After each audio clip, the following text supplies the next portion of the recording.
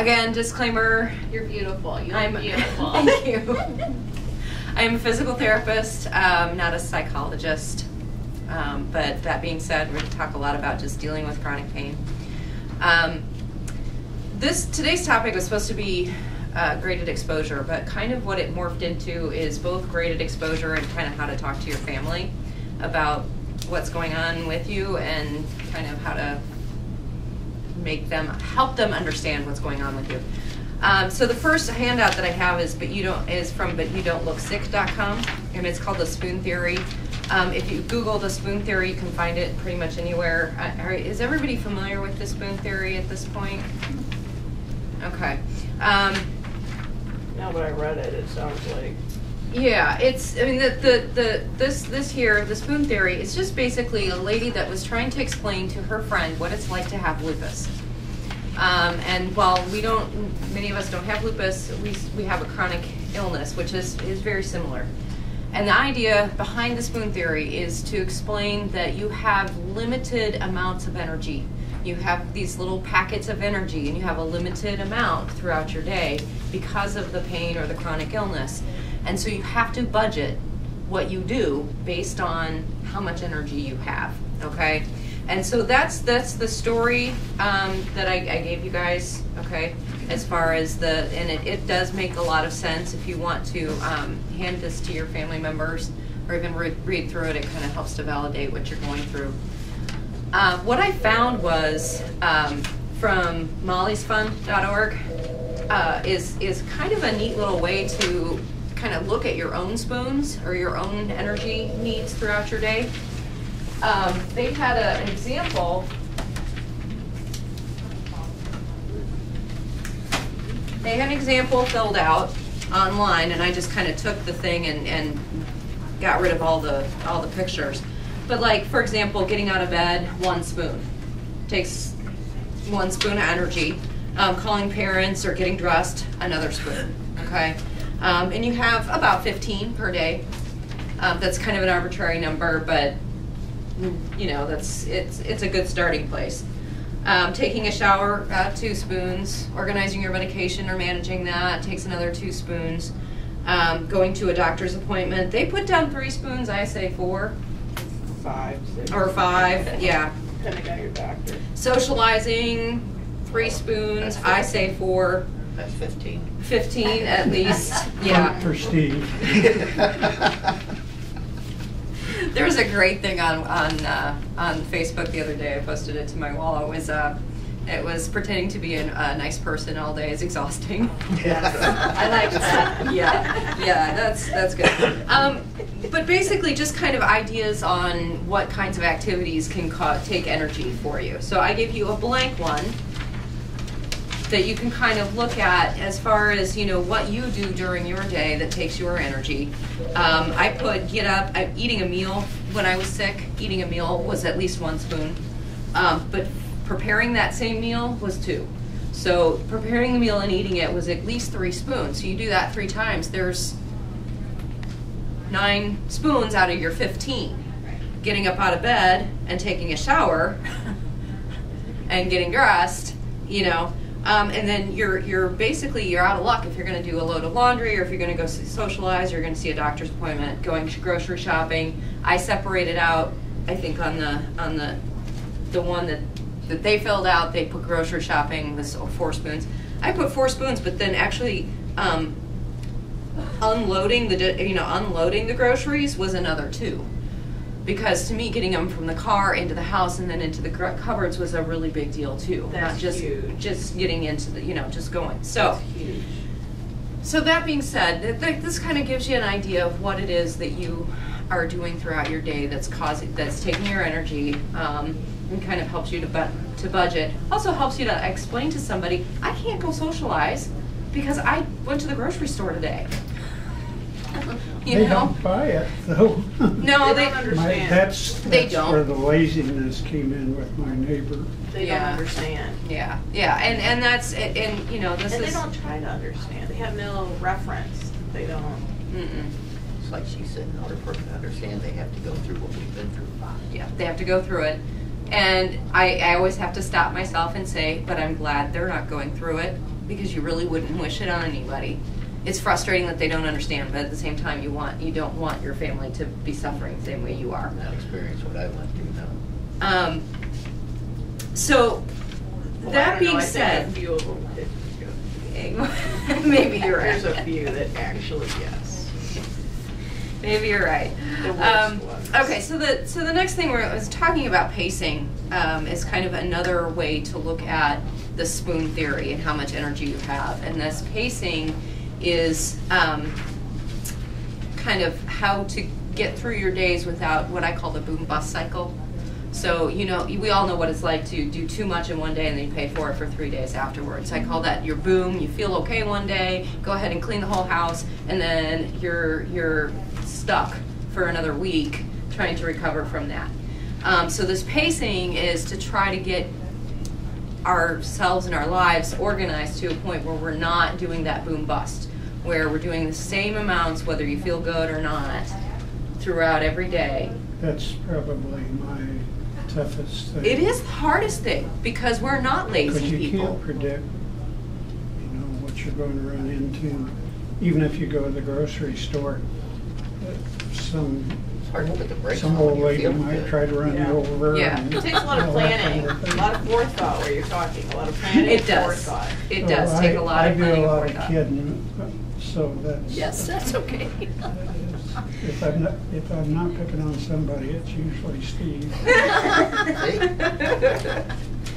so the so the idea is is and just to keep in mind that when you're healthy we have a really high tissue tolerance level meaning that we can do a lot without doing damage to our tissues okay whether it's our you know muscles or joints or whatever we can do a whole lot um, there is a thing called the SAID principle. The SAID principle stands for it's S S A I D stands stands for uh, specific adaptations to imposed demands, and that's on this page here.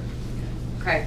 Um, basically, what that means is that your body is going to change and make improvements based on the on what demands you put on it. Um, and athletes use this all the time they don't get off the couch and go run a marathon, they train for it. Okay? Uh, people that do bodybuilding don't just go and pick up the heaviest weight, they, they work up to that. And so the body is making those adaptations based on the demands of the weightlifting or the running or whatever. Okay? Um, and this is when, when you're healthy, you have a really high tissue tolerance level and when you push into that yeah you get sore muscles you know you you start to you, you feel it okay? What happens when you're not healthy and you have a chronic illness is that you have a different kind of pain when you start to push into that tissue tolerance level but you also have a flare up line where your body is by protection going to flare up and say whoa put on the brakes stop. Where you need to stop and rest. The last time we did this you were out for however long, whether it's you know an accident that happened that that you were out for a couple of years or whatever it may be. Okay, or the last time you flared up, you were down for a week. Does that make some sense mm-hmm. as far as okay? So where you're at now, the tissues have not been being used the way they used to. Okay, you're not as active as you used to be and so you're not as strong as you used to be, whether it's your mus- muscular strength or your endurance, your cardiovascular health, any kind, all of your tissues are not as strong as you used to be because you just can't move as much. Okay? So the, this whole graded exposure is a way to try to get you from where you're at now, which is not very healthy, plus having a chronic illness, and into more activity, more better health, and a better quality of life because you have more endurance and can do more things and you have more spoons. Okay, so um, we have on the back of this this pacing we have um, this is all from from uh, the Explain Pain book by Lorimer Moseley. Uh, which is a fabulous book. If you can get your library, get it. Um, I would recommend buying it, except it's a little expensive. Um, What is it? it's called Explain Pain, and it's by Lorimer Moseley. There's there's an ebook. I think that's thirty five dollars. The actual book itself is eighty. or at least it was the last time I looked. So yeah, it's more of a textbook price, Yeah. but, um, but they have said that they don't mind us using the material for education purposes. So, anyway. Thank you, um, Yes, thank you, Lorimer.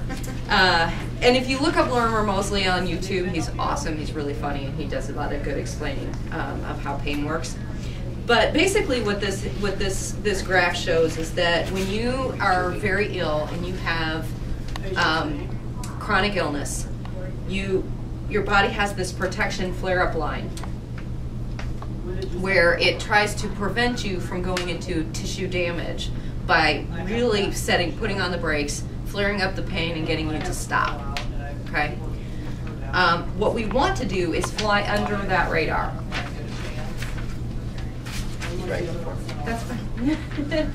um, what we want to do is fly under that radar, but we want to gradually increase the amount of activity that you're doing every day to where you're pushing that flare up line up with you as you go. Okay? All right, so how do you do this? Baby steps. Baby, baby steps. I'm a big fan of baby steps. Um, and and when I say baby steps, I, I actually was kind of thinking about this the other day. I'm thinking one spoon or maybe a half a spoon. Okay. Okay? can do that. So um, think of something that will take about as much energy as getting out of bed, like walking down the block, and or halfway down the block and back, um, and cut it in half. But do it every single day, whether you feel like crud or not. Okay. Um, so it should be something that is pretty rough on a. I mean, it, it's a little bit hard to do on a bad day but it's something that's really very doable and very easy on a good day. Okay. So you, the idea is then you do that for two weeks. Get to the point where it's not so bad on a bad day. Like, okay, I can I can tolerate doing this on a bad day. Bump it up a little bit, maybe another half a spoon. Okay. Does that make sense? So when you originally pick it, do you pick something you know you can do, or do you pick something a little beyond and then do half of it? Or do you pick Hmm, something kind of you know you can do? I tried to pick something that would be a little bit of a challenge, but I, I'm certain I should be able to do it. But at the same time, if, if, if you feel like this may be a little much for me, you know, I back off, I stop. You, you have to. And, Yeah. Oh yeah. Okay. You- Okay. That goes back to that reward and regret that you talked about. and, and Yeah. So if Try you can not do to it that feel day, guilty good. about it. But if you don't do at least half of it, I would say Sort yes. of like- yes. Try to do a little bit. Now, the, the whole thing is, too, is that I, I encourage people have at least one day a week where you can refuse. Okay, you have to feed that inner two-year-old that's throwing temper, temper tantrums because you're sick. You ha- have at least one day where you're like, you know what? That's to to heck with this. I, I need to rest today. That's, Okay. and that's hard for me. This busy world, especially when you start trying, I don't mm-hmm. care if you retire. I told someone the other day, I'm not retired. those are the busiest people I know. Supposed to be the ninety-nine when I retired. Yeah. I'm not retired. My dad says he can't figure out how in the world he ever had time to work because he's My parents are so, you have to actually call and make time, you have to, they have to put you in their book. That's It's- hilarious. Yeah. I think They're it's like- because they're used to doing something all the time, and Yeah. now they got free time, so they filled it up Yeah. with doing other It's filled up quick. Yeah. That that and doctor's appointments they tend to increase. Especially, yeah. so yeah, the, the whole the whole idea then behind the spoon theory and behind the pacing is to, to pick something and, and to me, I first thing, it may be that you really, really want to be able to clean your house in a day. Okay, that's fine. You can work on that, but is that fun? First thing you pick, That's should pick should be one of something mine. fun. I don't Okay. even think about that one. Or I know, I don't Or either. won't do it. but the the whole the whole thing is, you know, pick something fun. Like if you want to be able to go dancing, then then maybe you know, start by doing some physical exercise like walking or, you know, dance to a half a song on the radio or, you know, whatever it may be that you choose to do. Pick something that's that's halfway fun, um, so that you feel like you're getting a, a, a nice reward for. Right. Okay, I go to yoga three times a week. that's great. That's Yeah, me fabulous. And that- That's really that easy helps. too. Yeah, It does. it does. It does. It's um. Yoga ain't easy. No, it's not easy. Well, now, we don't, uh, the class I go to, we don't get down on the floor. It's all done in standing and sitting, a combination of it Mhm. and that. But, um, I want to, you know, improve my balance. Yeah, that's thing, great. And strength. These are strengthening ones, I guess, is what this one is that I go to. Yeah, but you're still you're still moving your body. I mean, Yes. that's that's huge. And that was Yeah. that when I first started all of this, my whole goal was to move my body at least once a day and go through my whole range of motion. And Yeah. so it was it was just a matter of you know one, you know, you know to maybe do a like a, you know pulling my knees up because I couldn't do a squat at that point. Um, you know, just to try to move the body once a day, and that was about all I could tolerate. Um, so, you know, and then and then you all have heard about my my walking story. I go, would go to Forest Park Nature Center, get out of my car, walk up to the building, turn around and walk back, and that was my walk. Yes. Okay. I don't think I heard that one. That's pretty good. That was my walk, and it took you know a half a minute or you know thir- thirty seconds to a minute to do that walk, but that was enough for that day. I would come back a day and a half or two days later, three days later maybe, and do it again until I could do that without feeling like I was going to collapse. And then I'd walk around in the back of the building and then back, add another thirty feet or fifty feet. And so, baby, when you say baby steps, it really means baby steps. And let me tell you, it's very frustrating because to begin with, you feel like you're not doing anything at all. You're You're like, this is so Mine- silly. Last summer, mine was to, my son mows my yard now even. Uh-huh. I bought this nice mower, and you can't buy anything any more expensive, I didn't think. To make it easier, Mm-hmm. It's self-propelled and it's got swivel front wheels and, and, and to make everything easy, I don't even have to, Right. Just Right. got one- Got got one of the reverse. robot ones. I, I got about half the front yard mowed and I can tell you that half of my front yard would be about half of this room. Uh-huh. And I turned and, and it was taking itself on and I went flat on my face. My legs wouldn't keep up. Uh-huh. And, and, and I've been, that's the way I have been mowing. But my legs were just gone Mhm. and no use. So I tried it a couple of other times and I couldn't gain enough Yeah. to, to do the whole yard. So do two stripes and then let your son finish it. That's what I pretty much. Yeah. Trade that in for one of the robot mowers. Sit on the porch, drink a beer. Twelve ounce curls, that'll work, I, right? I can't That's drink a exercise. beer anymore. You can stake a goat out. There you go. Stake a goat If I out. drink enough beer, I won't need a. Uh, problem solved. That's what we're about, solving problems. Out of the box thinking here. There you go. Twelve pack box. But I, I do think that I don't have to rely on my legs quite as much. Mhm. So I, I set up a- kind of a list in my head when I wake up in the morning, unfortunately, five o'clock in the morning. That's it for me. I, I just have to, but I think it through what I plan on doing for the day. It hardly ever works out though. Yeah, I don't think anybody ever does that. Do I- do- Does No, anybody they never ever, work out. No. does the plan ever come together? I don't think No, so. but at least I, I, Yeah. I get some of that stuff done. Yeah, I need her yoga class, the strengthening class. yeah, right? Well, balance is one of those things where if you don't use it, you lose it, so, um, and if you're not using your body, you're gonna forget where your feet are, and, I mean, you're, you're, again, with that, sub- that, that um, specific adaptations to impose demands works the other way too. If you don't use your body parts and your, you know, the, the muscles start to atrophy and the nerves don't conduct quite as well. And, you know, so you, you don't use quite, I mean, you don't Just feel it. Coordination in general. Coordination goes down, yeah, because you're just, you're not using that. The that. less you do, the less you want it. Yeah. Is nerve damage reversible? To a certain extent, yes, yes. Um, there's, there's been a lot of, uh, a lot of debate about that, okay? For a long, long time, we were told and believed that the nervous system really didn't change. That what you were born with was what you were stuck with.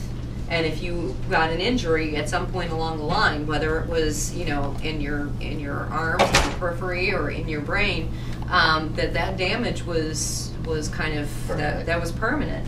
Um, but we are learning that the, the, the nervous system is, is as plastic as, as your, as your muscle are. And we can make a lot of really good changes. They've done, they've done a lot of studies where they've taken people who've had strokes 40 years ago, who have never, haven't been able to use half of their body, and trained them how to use the other half of their body. And Really? so you think, you know, after 40 years, this would be, you know, really embedded and it would- it would really be permanent. Cement, yeah. But it's not. It's um, Is it just from doing like muscle motion over and over again? partly it's it's them working those muscles. Partly it's not allowing them to use the side of their body that they can use. Ah, so it's like It's in that your forcing brain them. The Yeah. brain is It's- forced them to rewire. So is it you know is is the damage reversible in terms of does it is is it ever like go away completely? No, no. That you're you're always going to retain the scars of whatever damage you've had, but you can get to a point where it's it's at least healed um, and doing better. Um, so yeah, I mean yes and no. That's a typical woman question to answer. This is more of a man answer. I was gonna say, I've heard a lot of men give that answer too, so. Call it a lawyer answer, how's that? There you go, that's it. It depends. So, yeah, that's, that's, um, but the body is, is amazingly, including the nervous system, is included incredibly plastic. It really can change, um, based on what you do with it. Well, that's good news. Yeah. I got one of those radio frequency burns. Oh, did you? uh, Mhm. It's been about two and a half months ago. Uh-huh. How is that doing? I haven't decided yet if that situation too. So, uh, So how was the pain that they did The- to alleviate? most of the pain is gone now, but I understand there's possibility it can come Regenerate. Yeah. One of the things, yeah, one of the things with, with how pain works, and, and we know this much better now um, than we used to. It's not so simple as if you cut off the source of the of of the signal to the brain that the pain will go away. Um, there's a whole lot more involved in how pain works. Um, so again, you have the, the neighbors in the area that, that may start to pick up on um, reporting, you know, yeah. reporting whatever problems problems may be occurring. Um, and then possible dangers that are in the neighborhood, and then the brain also is has been processing this possible danger zone for, for years and years, and Yeah. so um, there's that issue of those tracks in the brain are still functioning well So as it's like well. shadow pains. Y- yes, it is. It is like the the phantom pains. Yeah.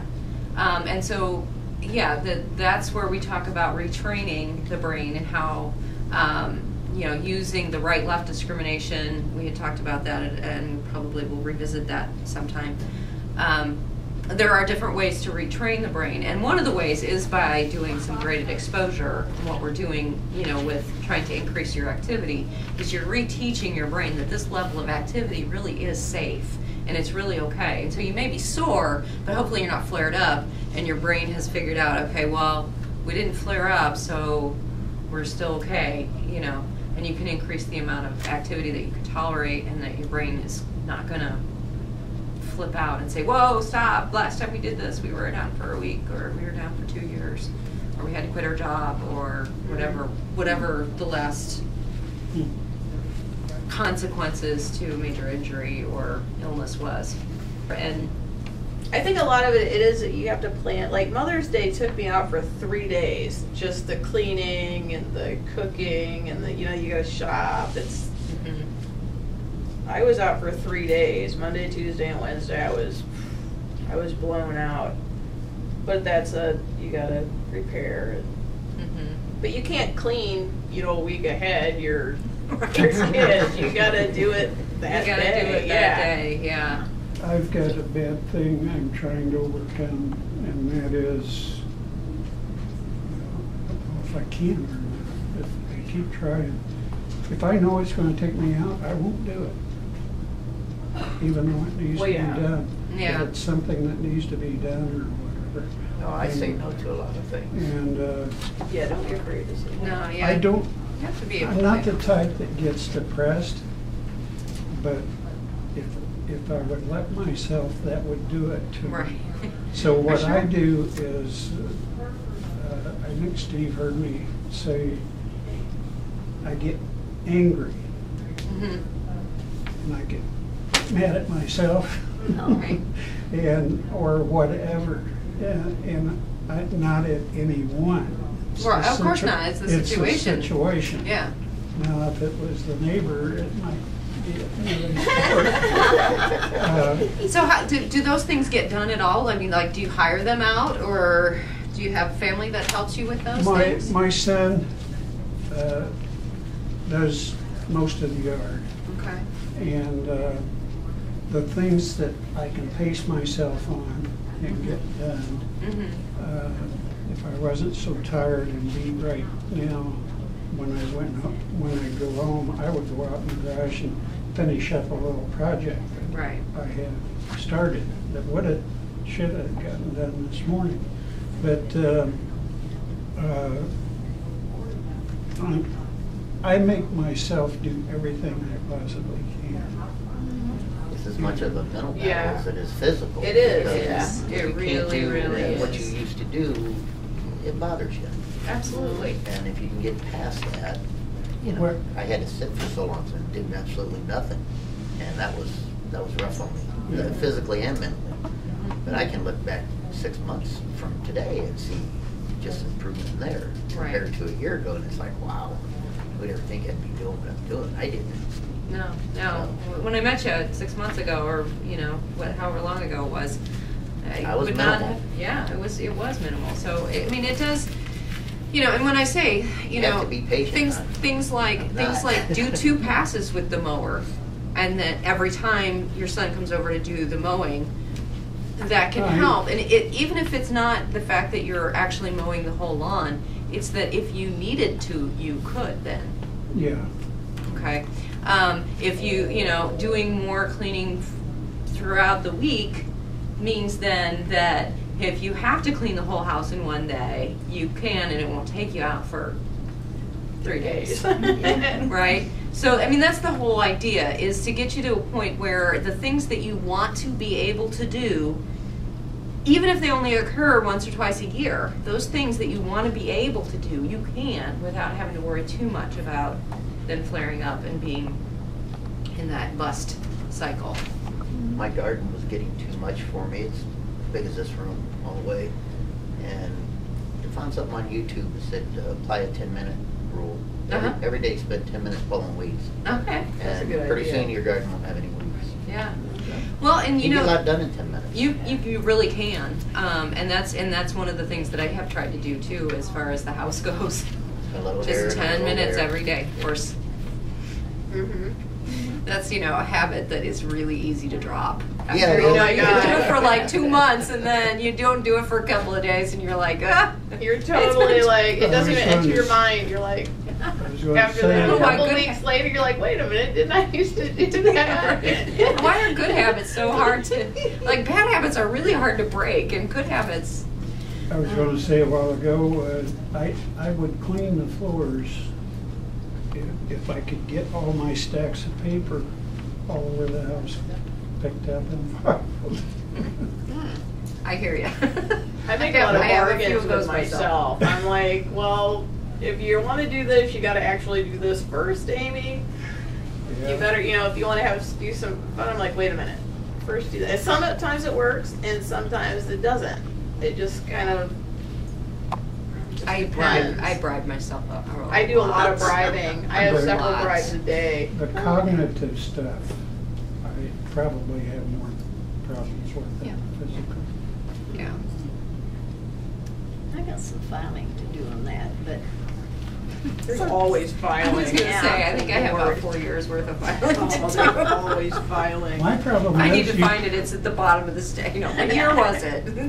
Yeah. You you know which stack and, and approximately where it is in the stack, at least. I tried to file stuff and the next thing you know, I'm cross-filing, you know, and I don't know where anything is. and- If you leave it long enough, it no longer even matters. Like That's if right. you leave it for years, most of it just becomes moot. It, you don't even need it. You throw most of it away. But they keep adding stuff. There's that pile. Yeah, and then the pile gets higher and The higher. pile that matters, and Yeah, that's pi- just yeah. it. I, I, I make myself just do it, you know, sometimes. I got, I got some, like I said, needs done right now. Oh, gosh. I just, like I said, I have about four years worth, I think. and- Wow. That'd be So, enough. I just did my four years worth, and most of it didn't matter anymore. Yeah. Yeah, well, but, you, but the problem is you, you I can't missed just out on some you can't stuff, just but- pick a pick a date you know line and then go and throw everything out that's underneath that because Yeah. you know there's like No, one there's or like two one or things. two things. The title to your car is in there somewhere. title, you know? yes.